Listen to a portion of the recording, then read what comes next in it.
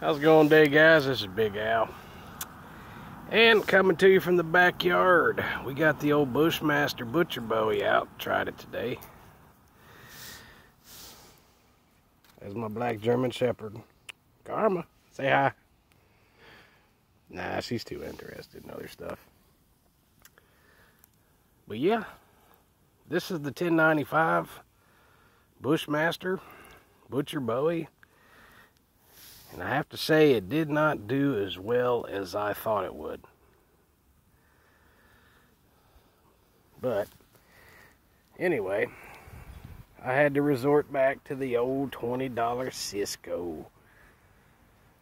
The knife that keeps on surprising. Excellent chopper. But I got into a piece of hardwood stuff. Now, this thing does fine on like thumb or finger size limbs, right? Nips them off one hit. Now you get into something probably pop can size and it just fizzles out. It's barely chipping off any wood. And I was like, you know what?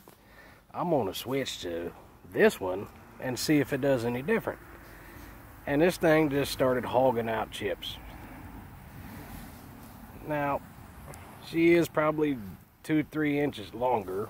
It does have more weight to it. But I think what hurt this guy is it's so light. Like there's not, there's no momentum going down with it. But with that being said, I mean, the edge held up perfect. And I was going through some really hard wood, guys. And there is no chips, and that thing will probably still shave you. So, yeah. $20 SZCO kind of outperformed the $50 Bushmaster. But don't mean this knife don't still have a purpose somewhere. Uh, it's just not a wood chopper. Yeah, a little blood on the handle there. It did get me. I kind of went up a little too far and nicked it. But yeah, wood chopper it is not. So you're probably paying for that 1095. You guys remember this guy, the old Silver Tech. And I will say that this slightly, very slightly, outdid the old SZCO because it does feel like it's got a little bit more weight in the blade. So for a cheap old knife, the old Silvertech was 16 bucks. This guy was 20. This thing was 50. So out of all three, which one would I take with me?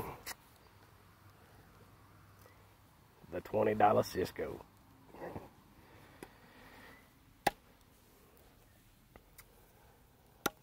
But just wanted to get my old chopper beaters out and come out back, build me a fire, because I got one big old brush pile to burn. So we're just sitting down in the backyard, relaxing tonight, playing with some knives, with a couple cold snacks. And yeah, just wanted to share that with you guys. And just let you know, just because the knife's cheap, don't mean it's useless. That $20 knife outperformed that $50 knife. And this is Big Al. You guys stay safe out there, man. We'll catch you next time.